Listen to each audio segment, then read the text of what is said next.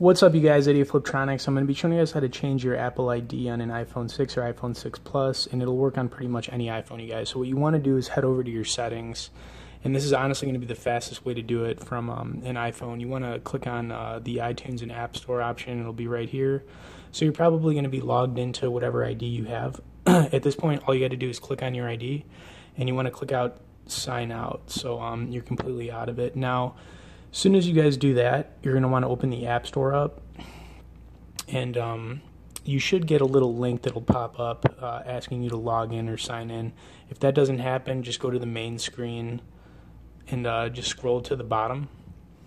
All right, at this point, you're going to see um, an option to uh, sign in. Just click on it and then uh, you'll be able to you know use the the existing Apple ID you have or just create a new Apple ID which is what you're looking to do. And uh, pretty much from this option you guys will be able to you know change your Apple ID and create a new one.